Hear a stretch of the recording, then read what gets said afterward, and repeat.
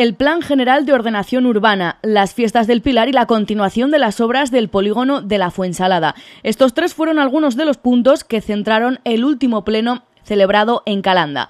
El plan general y la fuensalada son dos temas recurrentes en las sesiones por ser proyectos y obras largas. Las del polígono continúan su curso, pero se ha tenido que adjudicar de nuevo la dirección de obra. El ayuntamiento, tras varias desavenencias con Cadisa, la anterior empresa, rompió el contrato y mantiene varios contenciosos. Los trabajos han continuado su curso, pero los trámites administrativos no están siendo sencillos. Se aprobó la certificación número 2, la adjudicación de la dirección a una nueva empresa lleva sus cauces normales tras la prórroga de seis meses que, aprobamos en el último pleno, porque la obra está paralizada debido a que la primera dirección de obra que contratamos para que ejerciera como tal, como dirección de obra, nos dijo que la obra era inejecutable y que había que hacer un modificado y sin más eh, datos nos dijo que el modificado sería superior al 10% que marca la ley de contratos del Estado actualmente y que por tanto había que volver a licitar la obra. Nosotros ante esa eh, actuación de la dirección de obra, pues lo que hicimos fue recabar informes técnicos para ver si realmente eso era así o no. Encargamos a EID, consultores, un informe en el que nos decía todo lo contrario de lo que decía la dirección técnica. Entonces, eh, lo que hicimos fue decirle a la dirección que ejecutara lo que EID nos había dicho en su informe, a lo cual se negó y dijo que la obra seguía estando paralizada. Y finalmente, pues hemos resuelto el contrato con, con eh, Cadisa y hemos hecho una nueva adjudicación, en este caso a una empresa de, de la zona, al, gabinete de Laguens, de Algañiz. Todos los grupos celebraron que el Plan General de Ordenación Urbana haya llegado a su último trámite. En el Pleno se aprobó la necesidad de incluir un texto refundido tras la última modificación exigida por la Administración. Se aprobaba el texto refundido estos son instrumentos complejos donde tienen que informar muchas administraciones y que llevan, yo creo que este lleva no solo esta legislatura, lleva parte de la anterior, creo que es un proceso de seis años.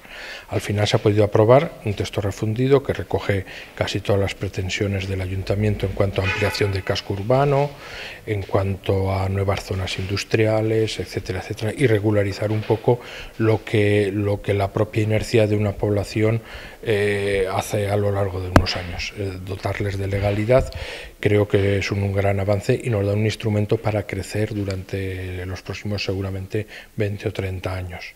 El programa de las fiestas del Pilar, aunque ya está en la calle, también se aprobó, ya que por motivos de agenda solo pudo aprobarse en comisión. El Partido Popular se abstuvo. Alberto Herrero, el portavoz, lanzó una reflexión sobre no confundir gratuidad con baja calidad. Eh, desde que empezó la legislatura hemos seguido una misma línea el Partido Popular, dado los tiempos que, estamos, pues eh, ha estado a favor de, la, ser unas fiestas gratuitas prácticamente en todos, en todos actos, pero sí que hemos detectado que en alguno de ellos, tales como la verbena o como bien he dicho de la revista del año pasado, pues la calidad no fue, creemos que no fue la adecuada para el pueblo de Calanda. Por lo tanto, yo simplemente animaba a reflexionar al equipo de gobierno en este aspecto pero nunca eh, no habrá salido de mi boca que eh, sean eh, unas, unos de los actos que sean que tenga que pagar el público. Por su parte, Raúl Campoy aprovechó la sesión para despedirse como concejal de festejos, cargo del que se desprenderá en cuanto acabe la legislatura. Esto no significa una marcha del ayuntamiento, pero en caso de continuar, no lo hará en festejos. En el Pleno se aprobó con votos a favor del PAR y PSOE una moción socialista para rechazar la reforma de ley electoral que propone el Partido Popular. Por otro lado, también se aprobó una modificación de crédito para incluir una subvención de la Diputación. Además, se informó del resultado de una reivindicación del último pleno cuando el Partido Aragonés puso sobre la mesa las quejas de algunos vecinos por la circulación a gran velocidad por las noches de coches y motos en el centro de la localidad. Alcaldía lanzó un bando y aseguraron que con la colaboración de la Guardia Civil estas prácticas han disminuido.